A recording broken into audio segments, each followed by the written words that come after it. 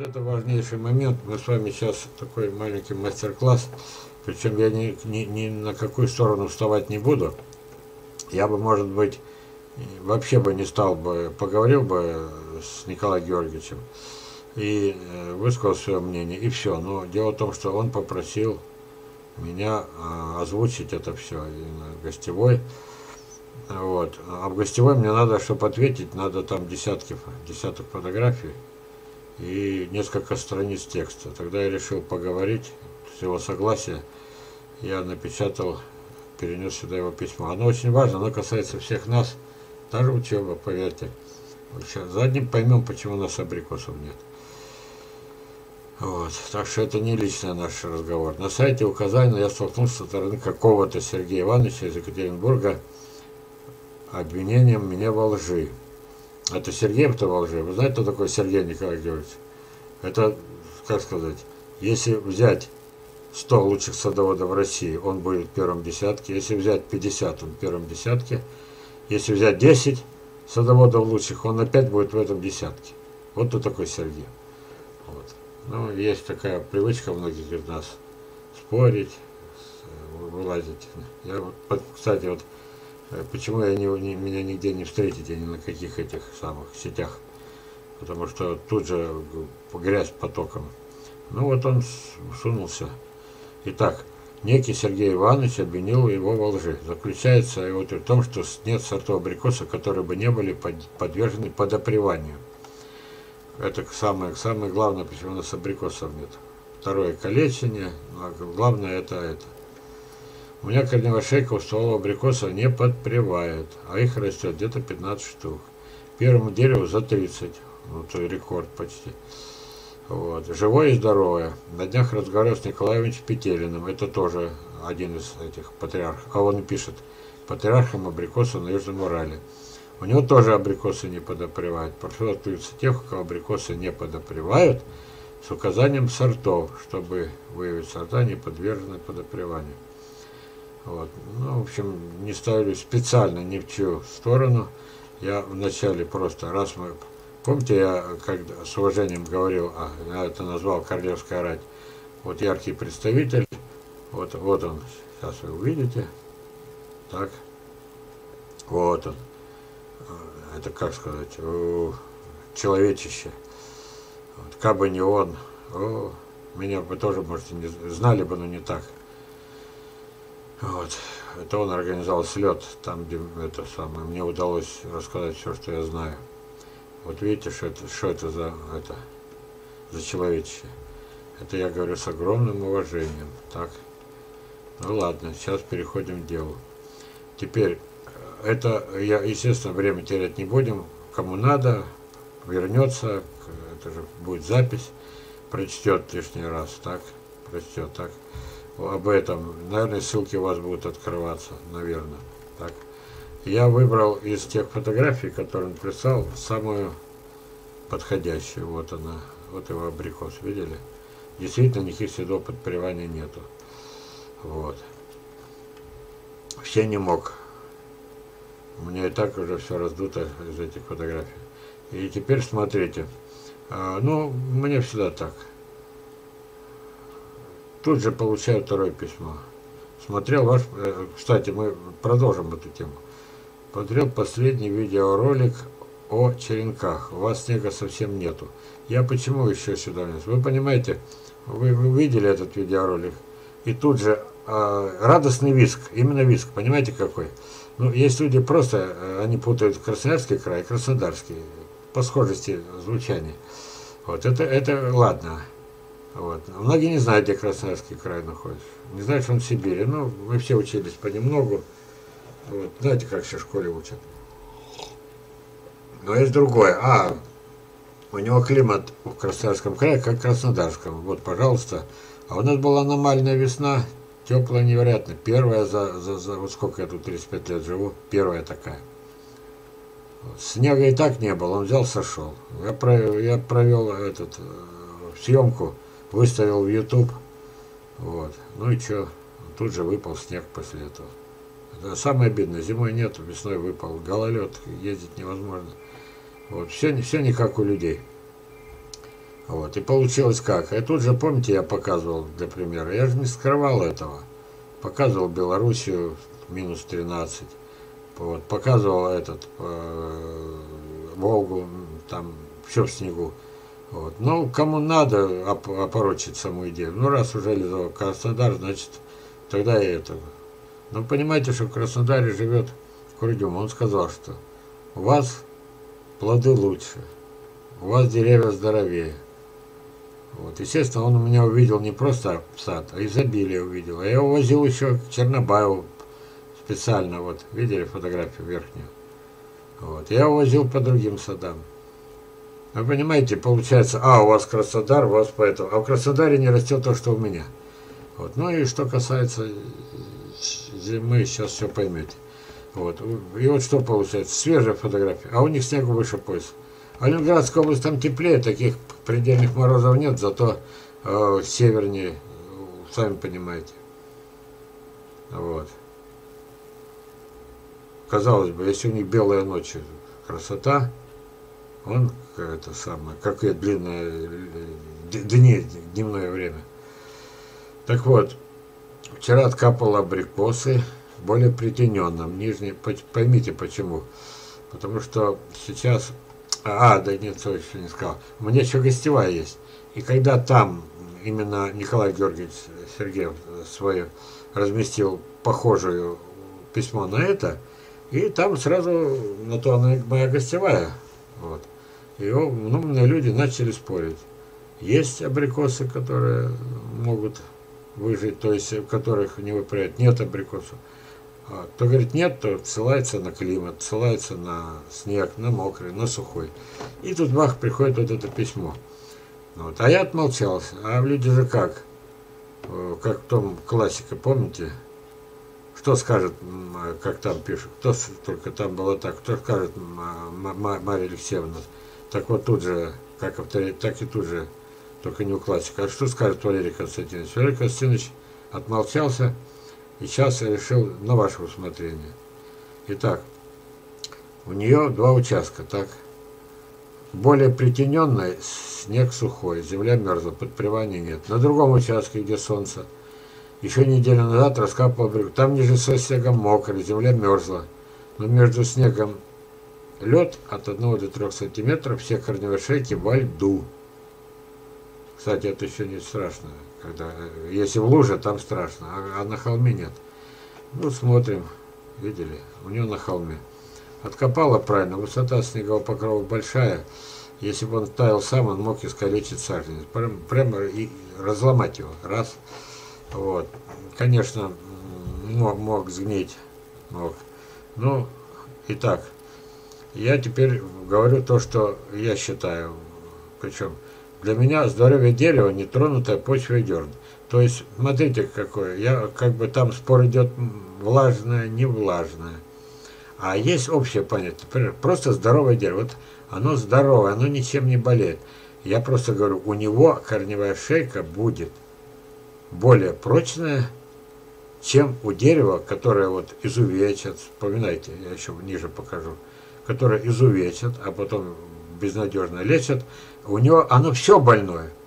И корневая шейка в том числе слабее, понимаете?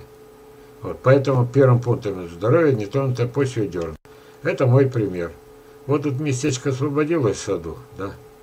Вот, казалось бы, густовато. Вот он привез мой помощник, родственник, тележку. Земля нормально черная. Она, самое главное, ребята, у нас учеба.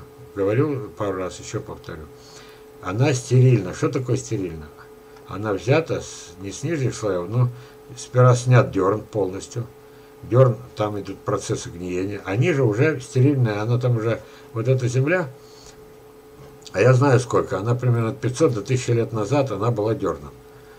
За это время все гнилостные процессы закончились, и в ней ямочка будет выкопана, и посажен саженец. Вот оно здоровечко. Помните, я сказал, что мой этот саженец за 5 лет, который меня хотят пятилетний купить, достигает, э, это, он у меня не, не только высоту, ширину, в бане, размер бани, я такие показывал. Вот. Пятимесяца показывал, специалисты давали от 3 до 5 лет. И получается, и, и за, ничего же нет, никаких удобрений. Вот это самое главное. Итак, в нем вырастет здоровое дерево при условии нескольких еще причин, которые ниже. И тогда получится, что, например, при одних и тех же условиях, исключая крайности, вы их увидите, вот, тогда не надо бояться за корневую шейку. А Сергей Николай Георгиевич, он ведь суперспециалист, его учить уже поздно. Вот. Если у него фотографии видели, прекрасно, да? Вот. Но, но его учить поздно, а кто-то этого не знает, тогда пойдемте дальше. Здоровье дерева закалка. Я специально вам такой полутора минуты приготовил. Вот это вот я всегда сравниваю с человеком. Да, вот этот парень похож на меня, 40-летнего. Очень похож, прямо вылитый. Вот. Сразу скажу, мой способ закалки чека, я когда прочитал, там как по кораблю потонул, там было тысяча с чем-то чек, э, э, дождались помощи чек 8, 8, по-моему. Ледяная вода, сами понимаете. Вот. Ну и получается, что э, я, я должен был бы в могиле, а я астму смертельную вылечил вот это вот купанием в ледяной воде, но об этом уже многие знают, рассказывал зимой. Так, значит, дерево закалка нужна, вот я пишу, здоровье, дерево закалка. Идем дальше. Значит, э, сравним с человеком. Итак, умение плавать.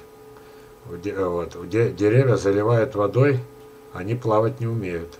Их заливают водой, у них полностью кислород исчезает, сгнивают корни. Вот мы даже боимся семечка сгнивать, да? А сгнивать деревья, потому что вот эти вот люди, они, э, они это Два-три полива за лето, да, с запасом. Ну, знаете, раз, два, три, это получается, высчитать осталось, сколько тратится в день, умножаем на 30 дней, о, красота. И гробят деревья. Вот, закалка. Деревьям, э, видите как, тут закалка. Вот. И здесь нужна закалка. И нам, и им. Метаболизм нам нужен. Сейчас на эту тему долго говорить не буду. Ускоренный обмен веществ – это спасение. Почему? Потому что если организм подвержен стрессу, то мы хотя бы, когда корабль тонет, или пару там полторы минуты в ледяной воде и это, в баню греться. А деревья попадают сразу из южных краев. Вы заметили, мы с вами, ну, Мальков может отозваться, может нет. Вот. Но если он отзовется, то пусть покажет сад. И фотографии уже со своего сада.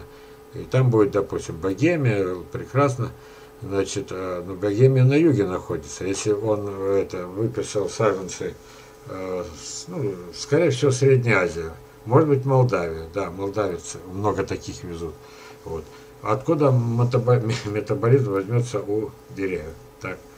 Вот. А они попадают навсегда. Им нужен ускоренный обмен веществ навсегда. А дальше вы вспомните перевод с, с, с крахмала в сахар и прочее, уснете. Поэтому о пропитании будем говорить просто. Вот. Если я, например, э, нет, давайте, ладно, пере, пере, пере, а, еще знаете, что здесь? Я уже сокращу эту лекцию. Наличие всех органов. Вы видели у меня пальцы все, на ногах все, руки есть, ноги есть, уши никто не отрезал, нос не отрезал. И это место тоже никто не отрезал. Вот. До сих пор на меня, кстати, не обижаются. Так вот, смотрите. Вот. Берется дерево. Видите? Вот. Когда э, с этого все начинается, то есть, э, понимаете, я говорю про э, сохранность корневой шейки. Она не только в том, что вот в прошлый раз мы изучали это, что они засыпали опилками и польют, чтобы сгнило. То есть а, естественно, если такая технология, а эта технология официальна, они же не сами придумали. Так, где нам взять опилки? Тут вот написано, да, опилки. Вот. Так и написано, давайте это. Они сами-то не садоводы. А вот она стоит вот здесь, количественного дерева. Садовод-то калечить бы не стал. А, а в предыдущий раз они не только, еще неделю раньше, одна пока драила эти самые мох этим содовым раствором, другая ставила так чик, чик, чик, чик, чик, чик, чик, чик, на глазах всей страны и моих. Чик, чик, чик, я фотографировать не Чик, чик, чик, чик, чик, чик, чик, чик, чик, чик, чик, чик, чик. естественно, после этого, даже если не делать вот эту смертельную работу, а это же а, а, а, яблоня, у нее крепкая корневая, они не замечают, что все остальное, включая грушу, гибнет. Поняли, да? Ну давайте еще посмотрим, что мы упустили. Фотосинтез, полное наличие всех листьев. Вот, вот здесь листья должны были расти. Вот примерно сейчас они, когда вот так вот делается, кажется, что там выше будет листов еще больше. Вот. Страшную ошибку, мне кажется, сделала Наталья Андреевна, фамилию уже не называю, когда сказала, штамп, помните, переписка с Сафроновым, штамп все-таки хоть небольшой, но нужен, потому что нижние ветки оттягивают э, питательные вещества верхушек. Черта с два, завесили тут, тут везде, это потом, у меня есть целый раздел, и там сотни фотографий уничтоженных деревьев с помощью обрезки. Там всегда под этой раной искусственной обязательно прекращается кровоток. То есть вы не направляете сюда, отрезав нижние скелетные ветки, поток питательных веществ, а прекращаете его. Просто вы этого не замечаете никогда. Это Наталья Андреевна, а это вообще это недоразумение, а не садоводы. Я уже их не матерю, а просто назвал недоразумением. Итак, фотосинтез – полное наличие листьев. Только тогда, когда все до единого листочки на дереве целы, только тогда она максимально здорова. Вот это должно стать таким, ну, мне так хочется еще постучать, э, не скажу почему, ну, хотя бы по столу деревянному. Вот. Наличие всех полных листьев, всех до единого. Отсутствие повреждений я уже сказал. Мы говорим, э, это самое, я в поддержку, я хоть и говорю, буду нейтральность придерживаться, но я в поддержку все-таки Сергеева. Вот. У него же нет повреждений. Так вот, значит, э, про повреждение сказал, вот это вот не просто дерево, это калека из коллег. Просто она этого не знает. Вот. Самое страшное, это вот эта изуитская улыбка. Наличие всех органов включает центральный корень. Вот. Это еще одна ошибка страшная. Уже когда корня нет, полностью пересаженный саженец калека, уже, уже калека. Еще вот это не уничтожили, вот эти веточки, оно уже калека. Получается калека в квадрате, идем дальше. Целостность дернового слоя. Понимаете, дерево должно питаться. Дерновый слой включает в себя А. Что, ну хотя бы самое главное скажу. Значит, травяной покров и сброшенные листья. Так. Значит, дальше идет пищевая цепочка. Никто же в лесу их не кормит, мы же не бегаем в лес с этими, с тележкой, с перегноем. Вот. Там идет э, пищевая цепочка, причем они еще, деревья еще и растут. Вот что удивительно, никто не кормит, а они растут. Представляете, они растут. И вот получается так. Значит, вот эта вот целостность зернового слоя, она для того, чтобы микроорганизмы, насекомые, но я не могу сказать, что червяк это насекомое, это что-то другое, грибы, все это в сумме, бактерии, все это в сумме кормит дерево. Так? Ну, они, вспоминайте, как они выскребли все отсюда, чтобы ушли черви, дерево голодало. Вот. Так вот, все, все это целость содержится. Это еще не все. Вот так же, как тут нужен кислород, свет, там под землей нужен кислород. Они об этом знают, они вылами тыкали, они избавились от червей, вот, естественно, ходы э, зарастут, заилятся, и туда перестает поступать кислород, червей нет. А они вилами тыкать предлагают нам. Они два раза тыкнула она, а нам предлагают миллионы раз, миллионов деревьев. Вот больше заняться нечем. Знаете, вот это вот дурацкая работа, придуманная искусственно, они, они думают за дерево. Они решили за дерево, что это вилами тыкать, кислород давать. А, а там нетронутый вот этот целостный дернового слоя подразумевает. Там несколько этажей подземных. Там настоящие, там кладовые, там заводы, там фабрики. Вот, там э, снизу поступает влага, это самое, в виде испарения от э, водяного слоя. Туда поступают отходы жизнедеятельности по, по вертикальным каналам. Вот. Есть такой горизонтальный перенос воды, но мне стыдно уже повторять. Это мои открытия. Они-то этого не знают. И лопата давай. Вот. Они же вообще против вот этого. Еще тут они не стали калечить почву, а в других-то они еще все это перекапывали. Так, посадка, смотрите. Ну, если вы такие грамотные, если вас выпустили на всю страну, если вы самые раскрученные, ну, ну, научите вы людей, чтобы посадка была по сторонам света. Вы же этого не делаете чтобы была э, эта э, корневая шейка помечена, иначе никогда не угадаешь, где она. Даже абрикосы можешь ошибиться. И вот тут начинается так. Если у абрикоса чуть-чуть там где-то на сантиметр э, корневую шейку приподнял, опустил, дерево уже больное. И вы спрашиваете, как же так, оно сгнило, вот этот сорт нет, а этот Сергей просит назвать сорта, которые не гниют. Ну, есть просто здоровое дерево. Идем дальше. Посадка на пологие холмы. Ну куда без нее? Ну, ну, ну это. Э, дело в том, что э, хорошо, чуть ниже. Наличие у гибридов супругов хотя бы одного эндемика или сторожила. Вот. Но это уже чисто по Мичурину. Это в идеале. Но вы согласитесь, что у нас, у сибиряков, пошли успехи. Вот. Значит, Чернобай у меня не учился. На что ты, говорит, прививаешь, глянь? Он говорит, на Сибирку. А грушу? На уссурику. А где ты взял уссурийскую грушу? Я же один знаю, где она есть. Он мне рассказывает.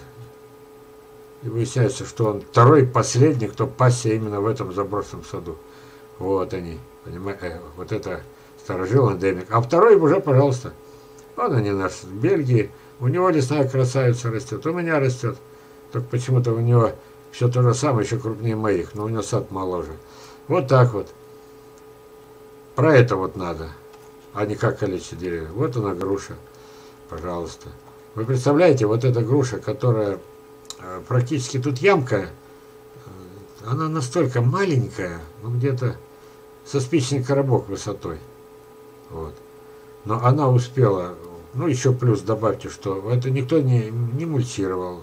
Она не мультировала, она просто, как сказать, росла себе трава и росла. И вот эта сырость привела к уничтожению этой груши. Вы посмотрите, что они делают. Они предатели, только они этого не знают. А учиться они не хотят. Им уже кто-то должен был мордой тыкнуть в мои вебинары. Ладно, дальше идем. Вот. Вот это абрикос. Так. Ну, тоже никто специально не собирался его гноить. Но он сгнил. А вот это уже, знаете как, а, они, они вот это бы отчикнули только так, только вот подпустили. Э, вот, вот этих самых, там, где они показывают, чик-чик-чик-чик-чик. Вот. Они не понимают, что когда полезли боковые э, ветки, назовем, ну, самое распространенное понятие, волчки или жирующие побеги у них. Да, жирующие как бы, значит, уже одно слово, они уже как бы приговорены самим словом, жирующие, значит, бесполезные, ату. И вот они все это отрезают. А это будущая крона, потому что здесь начался процесс, верхушки отсыхают когда? Когда здесь уже прекращается кровоток. Ну, я так образно называю. Ну, неграмотная. Кровоток. Вот. Вот эта вот фотография сделана а, хозяином того сада, в Абазе я упоминал. Вот он взял, где он столько достал, золы, не знаю, древесной. Вот. И когда я начал раскапывать, а он не знал, у него вот так было золы много, вот так. А, я ее раскапывал своими ручонками, вот, и показывал ему, что ты убил сад. А он говорит, ну как так, я же в книге вычитал. Ну, пожалуйста, я тоже золу. Единственное удобрение у меня за последние много лет, это зола, которую я жменьками рассыпаю, отступив метр, полтора. Просто как порошок. Вот. Представляете? Вот она учеба. Но ведь он же перед этим, как убить сад, в смысле убить сад, да? Он же все это прочитал, но там надо как-то разъяснять людям. Вот. А теперь еще раз. Ну кто-то морда их тыкнет, пусть они опомнятся. Пусть снимут следующую, и к вам обращаюсь, феи. Вот. Я, и вот этот, который играет роль дурачка при них, журналист, я к вам обращаюсь. Ну, пожалуйста, ну, следующий Тарас-то возьмите это самое, да, сделайте все наоборот, именно наоборот. Надо же как-то сгладить. Вы не станете признаваться, что вы говорите самое, на, на, наломали дров. Вот. Ну, пойдем дальше. Полюбовались? Вот он, этот самый. Вот. И еще тут один момент. Вот видите, где мой курсор? Это проходит, а я наблюдательный, меня ведь это без хрена не, не сожрешь. Вот это вот проходит шланги. Вот сад весь, да, с тысячами саженцев, сад размером 6 гектар, 8 миллионов он ухлопал. Так вот, это шланг везде прокинут, и у каждого дырочка. Вот. Это называли капельный полион, тоже его научили.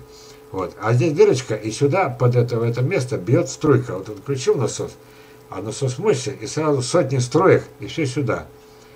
Рассчитать, сколько нужно воды, даже я бы не смог. Невозможно.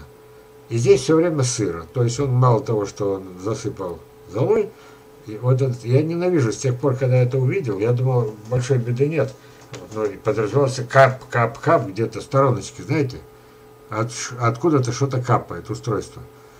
Вот самое примитивное. Включил насос, струйка бьет прямо в штамп. И везде она была так отрегулирована, что включается насос, бьет именно в штамп. Я потом еще на, нашел такой участок поменьше. Ну, и тоже мертвые деревья. Но я уже показывал фотографию. Вот. Индия. Мой друг-семинарист, организатор моего семинара в Москве. Вот, фамилия Новотный один из организаторов. Поехал в Индию, поехал, он все начал делать, он начал снимать, вот один из снимков. А единственное что, умнее нас, а, посмотрите, ведь это все гниет. Если бы саженец просто рос бы себе и рос, ну, там, как мы называем, дикоросами называем, ничего бы ему не было. Но это-то посадили, вот она ямочка. Я подумал, не одни мы дураки, как-то легче сразу стало что не одни мы дураки, а то ну, с Индии, по крайней мере, там хоть свои фрукты едят, а мы-то показать кукиш, что мы едим. Вот. Ну, пошли фотографии, вот такой мне прислали. Вот. Варианты пошли. Мне не нравится что? Конечно, проветривание лучше. Значит, корневая шейка при прочих равных условиях, независимо от сорта, будет крепче, чем, допустим, если, ну, не хочу, чем вот это, например, да потому что тут проветривание хуже, тут вода будет застаиваться, сырость. Вот, согласен. Но корни, потом человек говорит, да я посадил на высокие, еще круче мои бугоры делает, а у него корни вот тут замерзают, а нас же Сибирь, а это не понимают. Вот еще, вот. Вот здесь вот глупость очередная, ведь они же взяли эти полиэтиленовые бутылки, они, э, это же те самые феи, только уже другая позирует. Вот. Они скажете, никакого отношения не имеет. Но то, что саженец изувечен, вы уже видите. Что ж тут непонятно уже, теперь вы понимаете. Чтобы он стал, вот такую крону имел, вот такой длинный штамп, совершенно не нужно дереву. Они просто взяли и 10, 20, 30 веточек опоотрезали. Так. Но они еще, им показалось мало. Вот уже, еще раз, мы про корневые шейки. Уже корневым шейкам приходится туго и без этого. Почему? Больной саженец, больном саженце все хуже. Все намного хуже. Ну, я не зря показывал свою фотографию э, после купания в Енисея, да, и примеры приводил. Эти утонули, эти еще на плаву. Вот. Кто-то потому что лучше плавает, кто-то потому что закалялся. У кого-то метаболизм лучше. Вот. А тут же рядом среди них человек, которого, допустим, инвалид руки нет, ноги нет. У него какие шансы? Так вот, без руки, без ноги, вот они. Они себе рук, пальцы не отрезали, а дерево отрезали. Но это полбеды.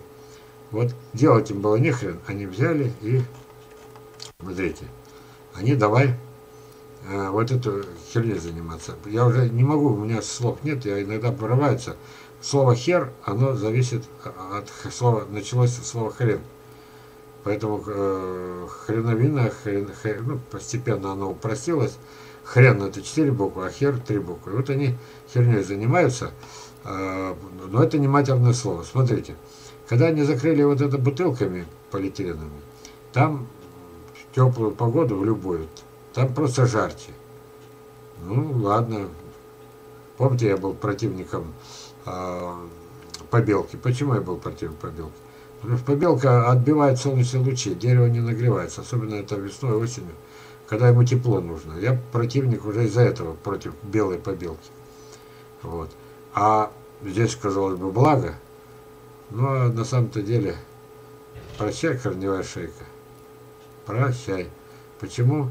Там получается не просто парничок, там повышенная влажность, так, дерево искалечено, а не сомневайтесь они это рассадник грибов. Вот. Самый настоящий рассадник грибов. И э, отсутствие кислорода, отсутствие проветривания. Вот. Ну давайте искать что-нибудь нормальное. Ну посмотрели, да? Вот. На- Натуральной херней занимаюсь.